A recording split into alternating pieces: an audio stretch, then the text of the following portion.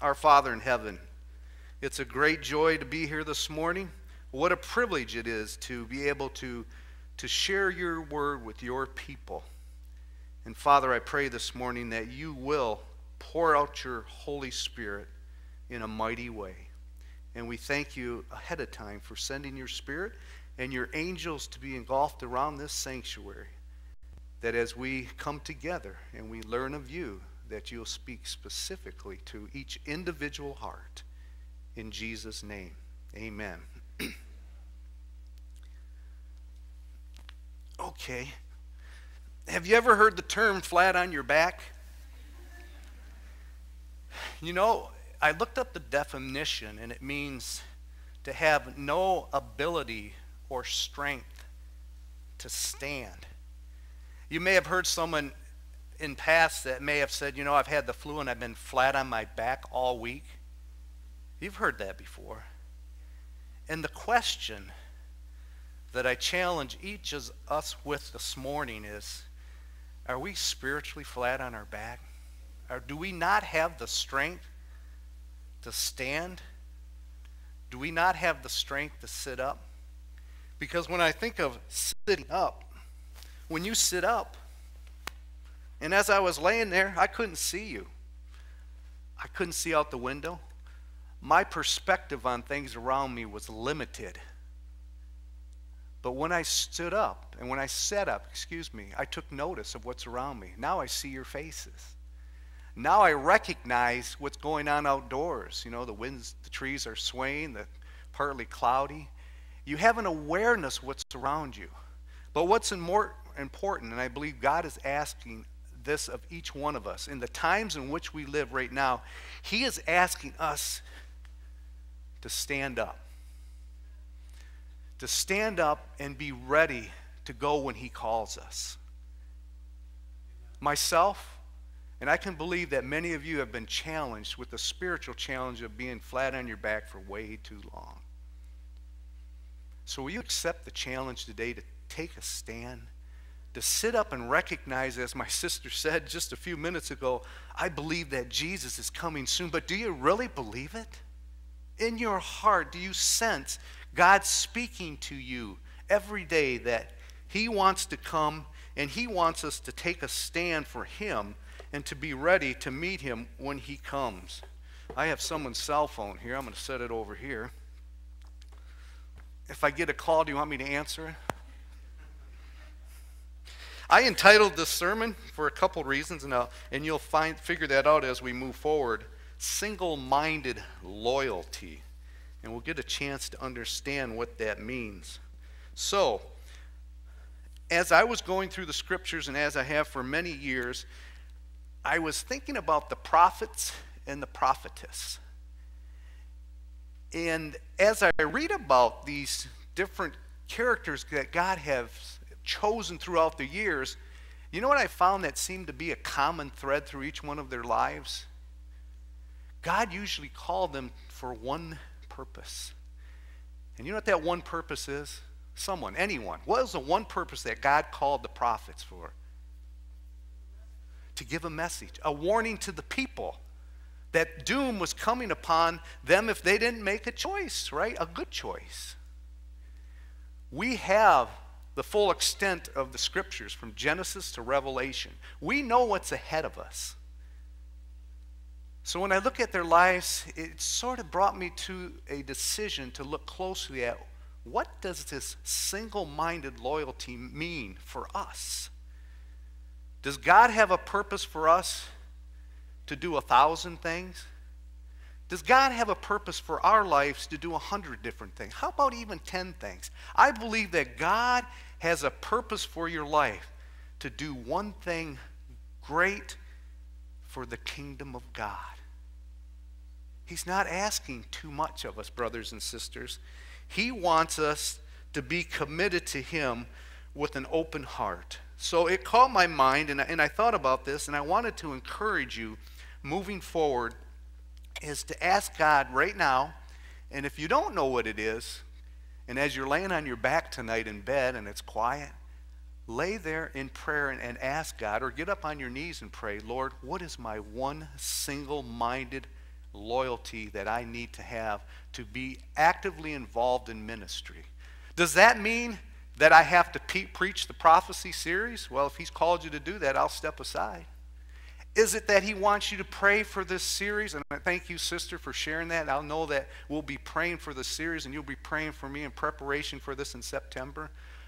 Or does he want you to go door to door? Does he want you to invite a family member? Does he want you to minister? What is it that God has for you? Don't feel, any one of you, that you don't have an ability to do something for the kingdom because you do. I'm convinced that God has one thing that you will do well.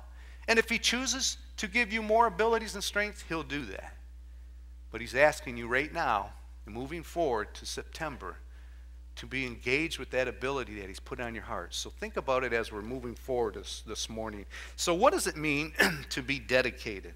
It's a person that is devoted to a task or a purpose. And I said it before, I got my title from this definition. It means, in short, single minded loyalty. To be totally focused on one thing that God has for you. So that's not too difficult, is it? I think He can do that in your lives, and He will do that. And I was thinking, okay, God, what is it for me? And I began thinking about what God did for, his, for us. What was His single minded loyalty? It was to reconcile you and I back to Him in a perfect relationship, right? And how did He do that? He gave His Son on Calvary for us, that He died for our sins, that we might be saved for eternity. What a commitment. So, what is that one thing God has called you to do? To save a soul for his eternal kingdom. He's not asking too much, folks. Just one thing. Just one thing. So, how do you build single minded loyalty? And, I, and Debbie sometimes gets after me because I'll have these lists of four things or ten things. Well, I'm not going to tell you how many this morning, but I want you to listen. And I want you to ask yourself the question how many of these really fit me as a person in how I live, how I work, and how I act? So, are you ready? Let's get started identifying what a single minded, loyal person may look like if you were to observe them. And then we're going to move into some Bible verses, what the Bible tells us also that defines that person like you. So here's the first one. If you observe someone that doesn't make excuses, that's someone with single minded loyalty. Listen to this one. If you know someone or observe someone with a, an infectious compassion to do the work, you know there's something good there. Have you ever met someone like that that just loves their job and they're just full of zeal? If you haven't, we got a lot of work to do because the church should be full of people like that. We should be so excited about getting ready for this series and for Jesus to come. We're going to have this infectious compassion. But the next one, it says that we need to be positive. How many of you can say that every day you have a positive attitude? Wow, I love it. I love it. So we want you on the front lines of this team, folks, moving forward because we need positive people. You know, positive people definitely make you feel good, don't they? So let's go on with this list. How many of these are fitting into your, your style of being someone that's dedicated. How about someone that's punctual? Not just sometimes, but all the time. And don't be looking at your spouses, because we're all guilty of this sometime or another. the other one, how about high intent, attendance or low absentee? Being here at church, being here at prayer meeting, being a part of the seminar planning coming up, being a part of that. These are individuals that show a characteristic of being dedicated. How many of these so far has fit you? Let's go down the list, a few more. This will be interesting. And I know that the leadership here have these things memorized. How many of you know the mission and the vision of the South Flint Church and understand the whole values built behind that? I know the head elder has it memorized. I know the deaconess know this. I know the members know this. Oftentimes, we write these mission and vision and these values for our church, and we send our plan up to the conference. But how often do we stay on plan? To be dedicated You must, you must be committed and understand your mission and your vision for your church. And our mission is very simple for September. You know what it is? What is it? Say it louder. Invite. Invite people to this church that they may know Jesus Christ for their personal Savior. It's pretty simple. A couple more. You got to be flexible. You have to have a high work ethic. And you know, a person that's dedicated, you know that the work's going to get done. Don't you love people that are that motivated that you know if you give them a task that that job's going to get done, you don't have anything to worry about. So those are the people that God are working with. I keep finding things up here on the desk. I'll just keep moving them. so what does the Bible say about being dedicated? Listen to this. In Romans 12, 1 and 2, you sacrifice. Being a part of any commitment requires sacrifice. It might be a little sacrifice or it might, might be a large amount or sacrifice. In Colossians 3:17, it says that you got to give thanks to God. We must give thanks to God. To be dedicated, says in 1 Peter 1 3, prepare your minds for action and be sober. Prepare your minds and your hearts today. In Romans 14 8, it says to work heartily.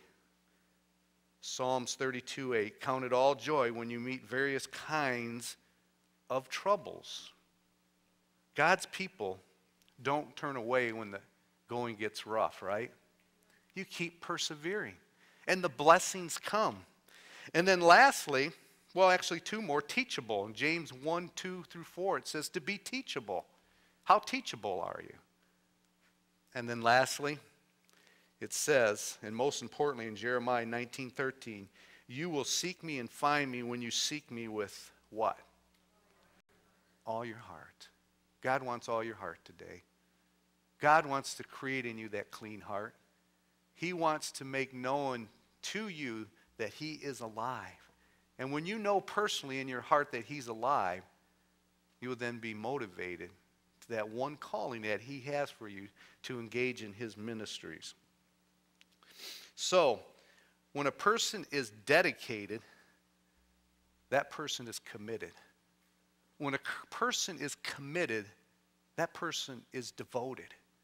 When that person is devoted, I believe that person is steadfast, but more than that, that person is true. Let's be true to our faith. God hasn't called us here to sit and wait for his coming. God has called us here to engage, to be active in his work, that we're all a mouthpiece, we're all hands, we're all eyes, everything on deck, ready to go to serve others so that they can be a part of his calling, of his last day people, friends. I don't know how to say it other than to sit up and to take some action.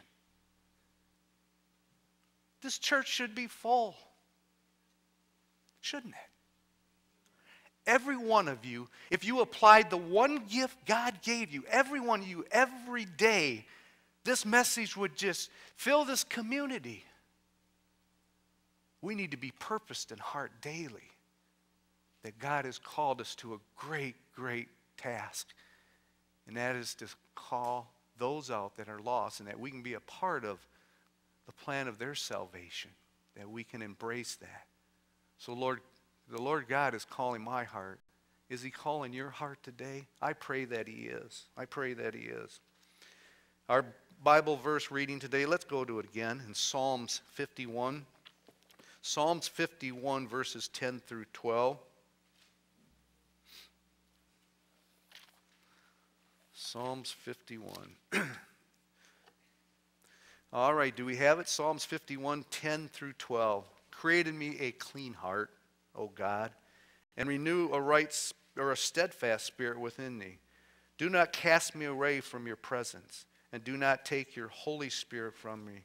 Restore to me the joy of your salvation and uphold me with your generous spirit. Isn't that a wonderful verse? What an encouraging verse that God wants to restore in us a clean heart and to prepare us. Two stories about two individuals that I feel that are, were very dedicated and understood the purpose of being single minded loyal. This was uh, G.J. Letourneau. He was born in 1888. He passed away in 1969. He was an inventor of earth moving equipment. He had over 100 patents and he had over 300 different designs of earth moving equipment. And you know what his prayer was? He said, Lord, I want to be a businessman for you. And you know what his single minded purpose was? Was to give almost all his finances back to the work of God. He gave 90% of all his earnings back to the work of God. I've shared tithing with people sometime, and they told me they, they, they can't give 10%. And this message is not about tithing this morning. I'm just telling you about when you're dedicated to something, you're going to give it all. And I love this quote. Let me read what he says. He says, um, here it is I shovel out the money, and God shovels it back, but God has a bigger shovel. Isn't that true? Wow, why do we ever why do we ever challenge God on these issues of finances? Why don't we just have the faith to know that he will return it? If our focus is to primarily do his work, and if we're about his business, all things are possible, and if we prayerfully commit to filling this church, God will fill this church with souls. But if we fill this church, we must be committed to mentor those new members coming into this church. We need to sacrifice our time and we need to sacrifice our resources, whatever it means, is to build up this church so that we may someday soon have to build another church. It's about spreading the gospel. It's not about just maintaining, it's about growing God's church. God wants to grow his church, and he will grow his church. The second story I wanted to share with you is a, is a man and you know him, he's in the scriptures, Jeremiah. He was 20 years old when God came to him and wanted him to be a spokesman. And here is a young man that was going out onto the streets preaching the righteousness by faith message, calling people from their sinful ways. How easy it would, would it be for you when you were 20 years? Well, I don't even say 20. How easy would it be for you today if God called you out onto the streets to preach the righteousness by faith message? Overcoming the sins of this world, living a victorious life. Turn from your evil ways, come back to God, give your full heart to God. Would you be able to do it? You would. And you know why? Because it's not your strength. And we've talked about this a million times. It's His strength living through us. He can do all things through us, folks. That's why He will fill this church and hearts will be changed. And it goes on to tell them the story of Jeremiah. He stood between before these nations in unparalleled apostasy. He talked about the downfall, downfall of the house of David and the fall of Solomon's temple. But you know what's interesting about this prophet? It tells us that he witnessed his own prophecies of impending doom upon his people. We know the message, friends. We know what's ahead of us. Do we? Do we know what's ahead of us? We'll find out more if you haven't been studying it lately in the prophecy series. But there's something that's coming upon this land and around this world very soon that we need to be prepared for. And I want to be prepared for. It. So Jeremiah and Letourneau were dedicated, committed, devoted, loyal, steadfast, and true. They had no excuses. These two men were committed, friends, totally committed to God's work.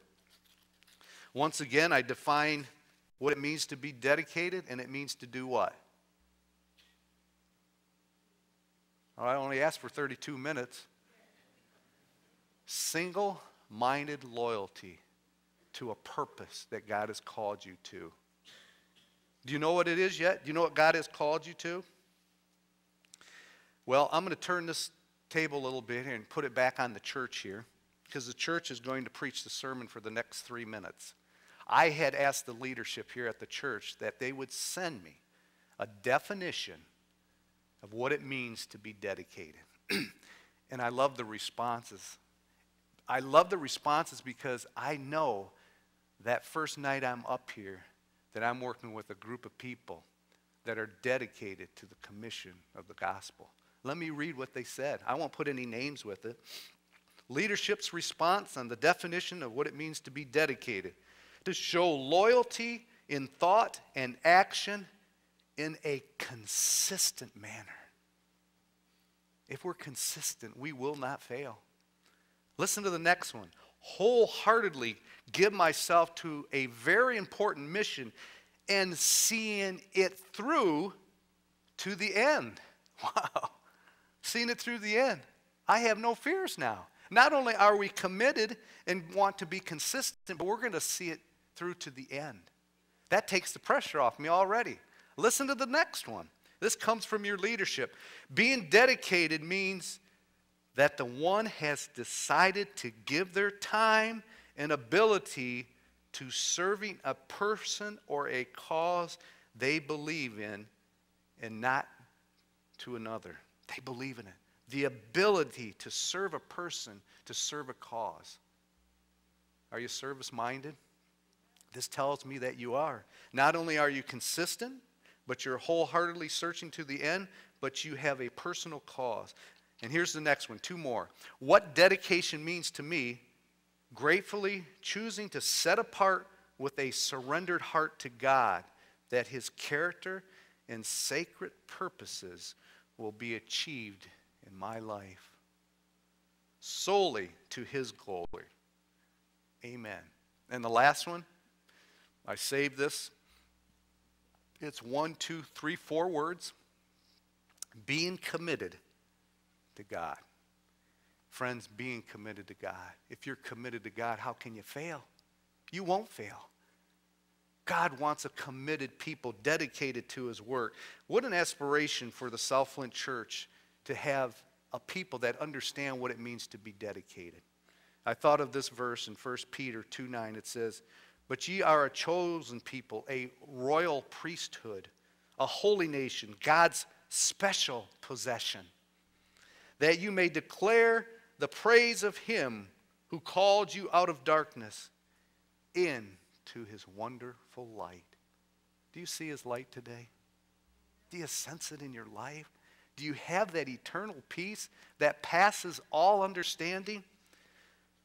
Friends, what is dedicated to God, it will last. I believe it. It will last. So I wanted to talk a little bit about the South Flint Church. South Flint Church. So, if 50 years from now we were to look back at this day, this church, 2019, in the month of May, would they see the start of a great reformation in this community? I'm hoping and pray that they do. Believe me, I've been up on this pulpit many times over the past 38 years, and I've always in my heart prayed for this. I've always in my heart preached this. But one day, one day it will happen that God will have a reformation in His church. People's lives will be changed. We won't even have enough room to seat these people in September. That is not a pipe dream. That's a reality when the Spirit is poured out and the people of God are committed. You will see this. And that's going to be my prayer that God will create in us a clean heart and that we'll have a clear vision of what He'll have for my life specifically to make this a successful ministry in the community here in this part of Flint. So pray with me, friends, that God will do that for us. So that'll be our history here in South Flint. We won't be here 50 years if we, we have this success. God will be here soon, and I'm looking forward to that. But let's take a minute. I want to take you back in history for a minute. And this was fascinating when I read through this. Have you ever wondered what happened to the 56 men who signed the Declaration of Independence? How many of you studied that recently? Not many of us. Amen. We got one out there. So, these 56 men who signed the Declaration, five were captured by the British as traitors and tortured before they died. Twelve of their homes ransacked and burned Two lost their sons serving in the Revolution Army. Another had two sons captured. But listen to this as it goes on. Nine of the 56 fought and died from wounds and hardship of the Revolutionary War. They signed their pledge, their lives, their fortune, and their sacred honor. They were dedicated to a cause, friends, so that we could have freedom today. Jesus paid the ultimate price on the cross so that we could have freedom today. What kind of men were they? 24 were lawyers and jurists. 11 were merchants, 9 were farmers and plantation owners, men of means, well educated, but they signed the Declaration of Independence knowing full well that the penalty would be death if they were captured. Are you willing to sacrifice all the way up to possibly losing your life for Jesus? You don't have to answer that today, but maybe you do. Where are you at in your walk with Jesus? Are you dedicated to the point that these men and women, these families were? But let me read on a little further because it gets more heartbreaking. But before I do that, Romans 14 8 says, For we live, we live to the Lord. And if we die, we die to the Lord. So then, whether we live or die, we are the Lord's. So you don't lose. So Carter Braxton of Virginia, a wealthy plantation and trader, saw his ship swept from the sea. It was swept from the sea by the British Navy. He had to sell his product, his property and everything they owned to get out of debt. Thomas McKean was so hounded by the British that he was forced to move his family constantly. Francis Lewis had his home and property destroyed. The enemy jailed his wife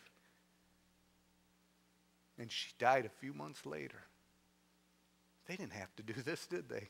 They didn't have to do this. But listen to this John Hart was driven from his wife bedside as she was dying. Their 13 children fled for their lives. His field and his gristmill were laid to waste. For more than a year, he lived in the forest and he lived in caves. And returning home to find that his wife is dead and all of his children vanished, and he died two months later. What does it take to be a person of this character? Why would you give your life for something? Do you know why? Because they believed in it. They believed that freedom was more important than life. Do you believe that the lost souls out there are more important than being comfortable? Are you willing to sacrifice the way that these founders of this nation sacrificed, the way that our Jesus sacrificed on the cross. And I'm not comparing these two by no means, because Jesus paid the ultimate price that we may live. These were not wide eyed, rabble rousing individuals. They were soft spoken men and means and had means and education. They had security, but they valued liberty more. Standing tall, straight and unwavering, they adopted a firm position for the support of this declaration with firm reliance on the protection of divine providence. We mutually pledged to each other our lives, our fortunes, and our sacred honor. Wow. That's dedication, friends. So these families gave their freedom of being free for independence. Many of them made sacrifices. These Americans risked everything and stood to be counted. So I ask you, take a few minutes each day and see what you're sacrificing. I know I, I need to revisit this more often. Just remember that freedom never comes without a cost. So, returning back to the South Flint Church, are we going to be able to write that history? Are we going to have that type of investment, being willing to sacrifice all for the souls of this community? I ask myself. God wants us to have that clean heart. He wants us to, to have success in our churches. Joshua told us this. These are, and just in some closing statements that Joshua told his people on this day, Choose you this day whom you will serve, whether the gods of your fathers serve that were on the other side of the flood, or the gods of the Amorites in whose lands ye dwell. And the people said unto Joshua, The Lord our God will we serve, and the voice we will obey. Do you hear his voice? Don't hear Mike's voice, hear his voice. God is calling you. He called you to this church for a reason. He called you to this church to be a part of this last great message that needs to go out to the world. So, a quick few points here. So, what does it require to be dedicated? How's your determination? Paul says, Brethren, I count not myself to have apprehended, but this one thing, one thing, he said, forgetting those things which are behind and reaching for those things which are before us. Friends, determination. Let's be determined this time. Forget what has happened in the past. But let's reach forward and let's have success in September. God will bless our efforts. Number two, the personal, the person that's dedicated, you need to be disciplined. If you're not disciplined, let's get disciplined to do his work. Romans says, There is therefore now no condemnation to them which are in Christ, who walk not after the flesh, but after what? The Spirit. Number three, to be personally dedicated requires a devotion to God. How's your devotional life? I can't survive unless I have a devotional life. And then number four, the person who is dedicated, you have to understand what it means to discriminate between what is good and what is evil. In Hebrews, it says, We as Christians must set our minds on the things above. A little while ago, I said, I was talking about getting ready and having a change and filling the church. And as I looked across the congregation, I saw a few smiles out there. So when I see smiles like that following a statement, I believe that you believe that it's a reality. It's a reality because I look beyond this world and look at the world to come. What a place that'll be. Why do we love this world so much? I love this world so much because I have an opportunity to be a voice for Jesus Christ. Just this morning, driving into church, God is so good. He puts people in our ways constantly. We're on this gravel road coming in from Fenton. And I saw this lady, and I've seen her there a couple times walking her dog. I said, Deb, I have a couple books in the side of my door there. Let's stop and talk to her. She said, okay. Deb's always willing when you're doing ministry. So we stopped and we rolled the window down, and we began, to, she looked at us first like, who are these people? Because you never know who's going to stop. And we introduced us ourselves as we're, we live on this street, we're just up the road here. And she goes, oh, I know where that is. And we had this wonderful conversation together. And Deb, you're not going to believe it, but I remember her name. It's Jenny. Did I get it right? Jenny. So Jenny is saying, you know, come by. We have, we do our own organic honey and that, and we like to give our neighbors a welcoming gift. And we'd like you to come by for a jar of honey. And I'm thinking, boy, she doesn't know who she invited to her house. So I'm looking forward to this because that was a divine appointment. And so we pulled the book out, and Deb said to her, We have this, this gift for you. We think you'll really, really enjoy the gift. And it was the story of hope. And she says, Oh, I'm a Christian. And oh, we're Christians. And Debbie, we, somehow we talked about homeschooling. She says, Oh, we homeschooled our kids. And so we had a little conversation on the side of the road, but God will lead you to people if you ask. So my point here is for the next three months, ask who you're going to bring to the meeting. Every one of you. There's 50 people here today. We should have 100 people in this room. We can shoot higher, but let's start with 100 people. John 14, 4, or 4.14 says, Whoever drinks of the water that I shall give him will never thirst. But the water that I shall give him will be in him a fountain of water springing up in everlasting life. Wow.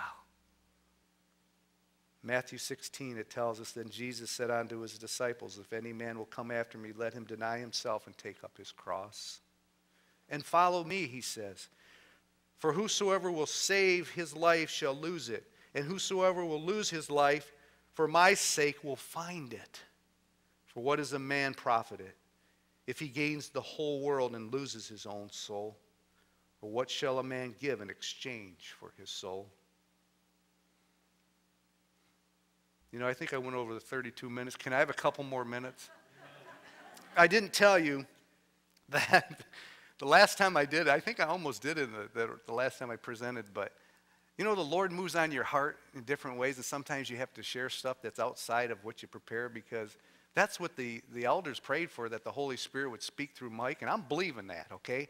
I'm just not up here just sharing because I like to talk. Because ask Debbie, you know, I, I, I didn't grow up this way, and I know my daughter-in-law won't believe me, but there, there was a time that I wouldn't even stand up here, or I was more recluse, but when it's doing the work for God and He puts something on your heart, you have to share it. So I have a couple more points. Just give me a few extra minutes, okay?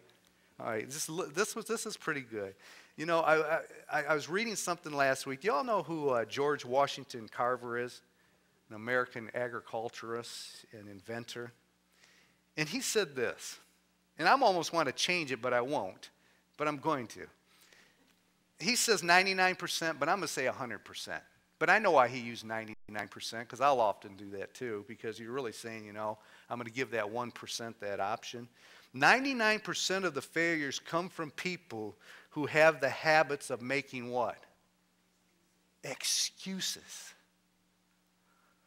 The parable of the Great Supper. It's found in Luke 14. Now, when one of those who sat at the table with him heard these things, he said to him, Blessed is he who shall eat bread in the kingdom of God. Then he said to him, A certain man gave a great supper and invited many. And he set his servants at supper time to say to those who were invited, Come, for all things are now ready. But they all, with one accord, began to make what? Excuses. The first one said, I have bought a piece of ground and I must go and see it. I ask that you excuse me. Another one said, I have bought five yoke and oxen, and I'm going to have to test them. I ask that you would be excused. Still another said, I have married a wife, and therefore I cannot come. Excuses. When will those excuses run out? a list of excuses that I want you to eliminate from your life and your vocabulary these next three months. Let's just have a change here for the next three months and moving forward during this series. Now, if any of these fit you, let them go. Here you go. Here's the list excuses that you're probably familiar with. You never told me you needed that. I didn't understand. I forgot. You never do that stuff I ask you to do either. Sort of shifting the blame maneuver. You ever hear that one? I don't know how to do it. So and so told me I didn't need to do it. You could have done it yourself. Boy, that hurts. Nobody else has to do that. That's not my job. And then the last one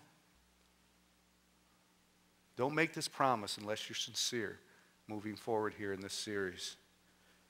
I promise I'll do it today. And after that, I wrote, Will you? Do you promise and purpose in your heart to be single minded, loyal to God? That we can get this work done and go home? That's my heart's desire. I preach, and when I preach and when I share, my heart's desire is that people will see Jesus the way that I have found him when I have seen him. And you'll have your own personal experience. But he changed my life. He gives me joy. He opens my mind to different things that I never ever thought of. But when you're open to the Holy Spirit and you allow him to use you, you'll see things differently. So my prayer is, friends, is that we'll sit up like I did earlier at the beginning of the service. Sit up and take notice. Take notice of what's going on around you. It's only a matter of time before Jesus comes. I don't have the clock, but I'm praying that it'll be soon. But when you take notice, take a stand. No more excuses. None of those. No more. There's no more excuses. I am purpose, Lord, to do what you have called me to do, and I start today, you'll see wonderful things happen. And God will send people to this church. My last verse is this. In Matthew 25, 21, his master said to him, Well done, good and faithful servant. You have been faithful over little. I will set over you much. Enter into the joy of your master. Friends, those are the words that I want to hear. I wanted to close with a song. A song really defines everything that I've talked about here today. I may have, I think on the spur of a moment, you asked me to do a song once and I did part of it, but I want to sing this song to you because it means so much to me. And you know, you can sing this verse over and over again, but until you have this experience, until you ask God, you won't understand some of the things that I've shared with you today. So let me share this song with you in closing.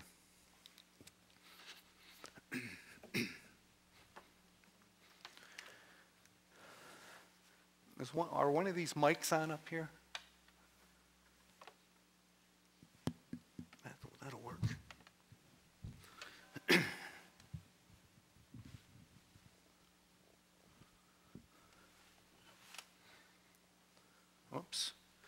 Boy, that would be a disaster if I did that. Let's put that on there.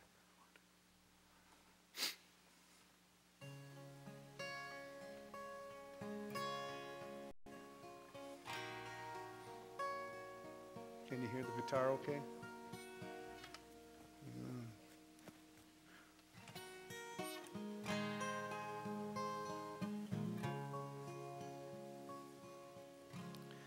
Change my heart, oh God. Make it ever true. Change my heart, oh God. May I be like you.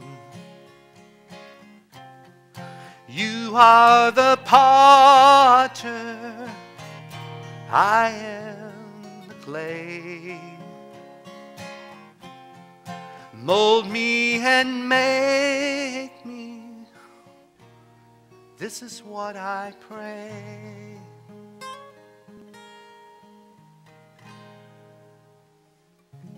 Change my heart, oh God. Make it ever true. Change my heart, oh God. May I be like you. You are the potter, I am the clay. Mold me and make me. This is what I pray. Change my heart, oh God. Amen. Make it ever true. Change my heart, oh God. May I be like you.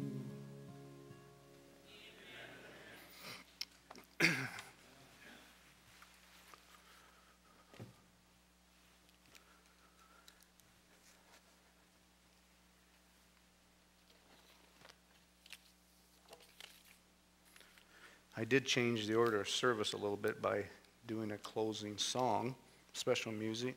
So let's take our hymnals and turn to 86, How Great Thou Art.